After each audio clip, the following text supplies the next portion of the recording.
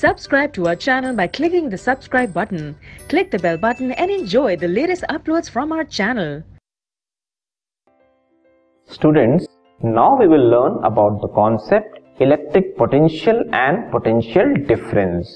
आज हम पढ़ेंगे कि इलेक्ट्रिक पोटेंशियल क्या होता है और पोटेंशियल डिफरेंस क्या होता है ठीक है ये टर्म यूज़ किस लिए किया जाता है ऐसा कहा जाता है कि जब एक कंडक्टर के दोनों एंड पे पोटेंशियल डिफरेंस हो, तभी करंट जो है मूव होती है या करंट फ्लो होती है। ठीक है? तो एग्जैक्टली पोटेंशियल डिफरेंस बहुत इंपॉर्टेंट है अगर इलेक्ट्रिक करंट को फ्लो करना है। तो ये एग्जैक्टली पोटेंशियल डिफरेंस होता क्या है, इसको हम समझते हैं। ठीक है? एक एनिमेशन आप देखेंगे, उसके अकॉर्डिंग भी आपको समझ में आएगा। तो अभी आप जो देख रहे हैं वो एक सर्कल फॉर्म में मैंने दिखाया है, ये एक इलेक्ट्रिक फ़ील्ड को रिप्रेजेंट कर रहा है, ठीक है?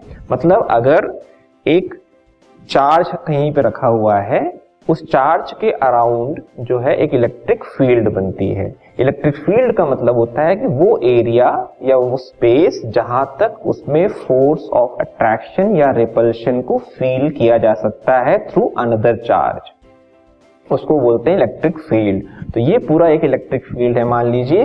और पॉइंट ए एक पॉइंट है इलेक्ट्रिक फ़ील्ड पे, ठीक है?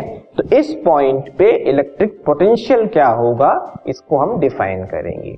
So definition is electric potential at a point in an electric field is equal to the work done in moving a unit positive charge from infinity to that point.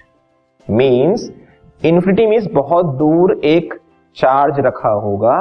कैसा charge unit positive charge unit means one positive charge one positive charge रखा होगा mean उसकी value one होगी magnitude ठीक है? उस charge को हमको इन्फिनिटी से इस पॉइंट तक लाना है। इसमें जितना वर्क हमें करेंगे, उस वर्क को ही हम क्या कहेंगे? इलेक्ट्रिक पोटेंशियल इसको आप ऐसे समझो। ये चार्ज प्लस क्यू इंफिनिटी पे रखा हुआ है, ठीक है? वो प्लस क्यू चार्ज को हमें मूव करके इस इलेक्ट्रिक फ़ील्ड के पॉइंट ए पे लाना है। लाने में मतलब इसको इस जगह से दूसरी जगह ट्रांसपोर्ट करने में जितना हम वर्क करेंगे, वही वर्क क्या हो जाएगा? इलेक्ट्रिक पोटेंशियल हो जाएगा। सी, मूवमेंट कराया, और वही वर्क डन जो है किसके इक्वल हो जाएगा? इलेक्ट्रिक पोटेंशियल के इक्वल हो जाएगा। ठीक है? तो हम कहेंगे, जितना भी वर्क हमने किया होगा वहाँ पे सपोज़ करो फाइव जूल ऑफ़ वर्क किया होगा, उसके बेसिस पे हम कहेंगे, उस पॉइंट पे इतना पोटेंशियल हो गया है। लेकिन पोटेंशियल की यूनिट क्या होती है, उसको भी जानना ज़रूरी है। Electric potential is measured in terms of volt ठीक है? V O L T volt तो हम बोलेंगे, इतना वोल्ट है वहाँ पे इलेक्ट्रिक पोटेंशियल का। ओके अब ये वोल्ट क्या होता है इसको भी हम समझेंगे When one joule of work is done in moving a unit positive charge from infinity to a point, the electric potential at the point is equal to 1 volt.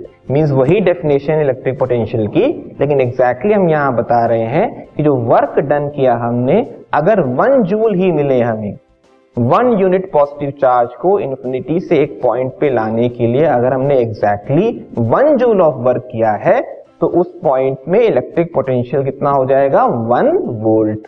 ठीक है? टू जूल गया है तो टू वोल्ट हो जाएगा।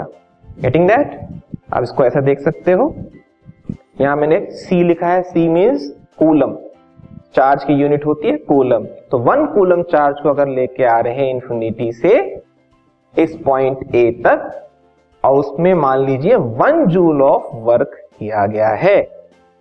तो हम क्या बोलेंगे? Potential is equal to one volt इस तरह से आप समझोगे कि इलेक्ट्रिक पोटेंशियल की यूनिट होती है वोल्ट और वन वोल्ट की डेफिनेशन भी इस तरह से हो गई। When one joule of work is done in moving a unit positive charge from infinity to a point the electric potential at the point is equal to one volt ठीक है?